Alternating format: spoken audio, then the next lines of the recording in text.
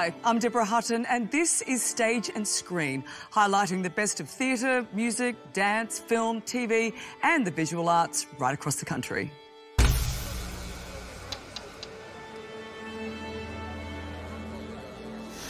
This week, acclaimed actor of stage and screen Pamela Rabe joins us at the studio to talk about her role in The Glass Menagerie and about playing the freak on Wentworth. Tennessee Williams' The Glass Menagerie brings us the tragic character of Amanda Wingfield, played by the one and only Pamela Rabe. You can see her in this Helpman Award-winning role at the Malthouse Theatre from May 18th to June the 5th. But right now on stage and screen, Pamela joins us. She's one of Australia's busiest and most awarded stage actors, a regular with both Melbourne and Sydney theatre companies, not to mention her film and television work. Thanks, Pamela. I know I've taken you away from a very busy schedule. It's great to have you on stage and screen. Thanks, Deborah. Now, tell me, um, Glass Menagerie and Amanda Wingfield, this is a character that you've played before. What's it like slipping back into old shoes? It's fabulous, actually. It's terrifying. It, it's funny that whenever you embark on any job that you do, any role that you take on, you're always there's a cloud of terror that hovers over it about will I be able to do this? Will what will happen? You know, I can prepare as much as I like, but can we pull it out of the bag?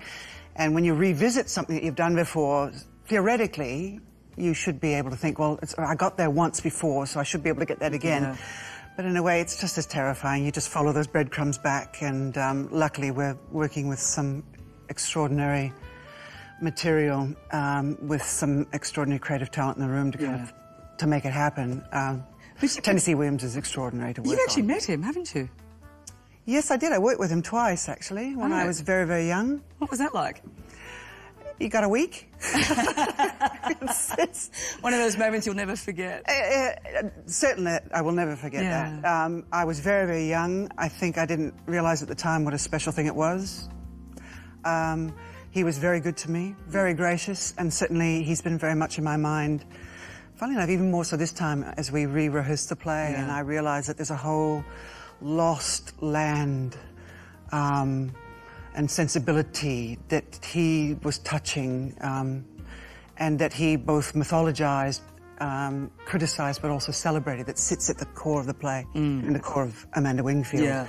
who's obviously a character that you know that's very close to him off theatre but in TV is your role uh, in Wentworth, and it's mm. something mm. that um, I think you were you trepidatious about taking on the role because Joan the Freak is, is is such a big character. And what's that been like for you? It's a pretty tricky part. If I knew what I was taking on, I would have probably been more terrified. But I was just so excited to be asked, and uh, she's such a great character. Yeah. You know, so complicated so nasty. so nasty. And I, and I love that. We I love, love it for it. Yeah, I love it for it. I yeah. mean, and I, I mean, uh, why do we like villains so much? Uh, certainly, I know why I like playing them, but the, there's something about the um, the permission or the sanction to do the mm.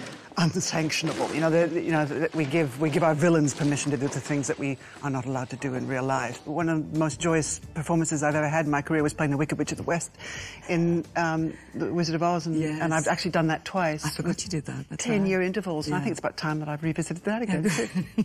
I've sort of known you through years because with the STC and, and just seeing you on the stage, loving you in theatre. You're doing you, television. You've also directed. So what? Where does your heart lie? Where does the passion come? Or do you need to mix it up all the time just to keep that your interest? Um, I'm very happy to be working. Full stop. We all get better by working. Yeah. And um, I passionately believe in what I do, and I passionately believe in the pursuit of excellence, uh, and knowing that um, we have to fail to be better. And so I feel very lucky to be given a chance to have a hack at things, as I think mm. we keep the cultural conversation going by creating as much art as we can. We create a, a national cultural voice, an international cultural voice, and that, that voice has many timbres. Mm. And um, the, the, more we can support it by uh, funding it, creating it, viewing it, sure. criticizing it, the better our art will be. Well, you have a very busy schedule. I want to wish you um, the best of success with Glass Menagerie. It's an absolute classic. So thank you. Thank you, Deborah. Pleasure to be here. Well, I'm sorry to say, that's stage and screen for another week.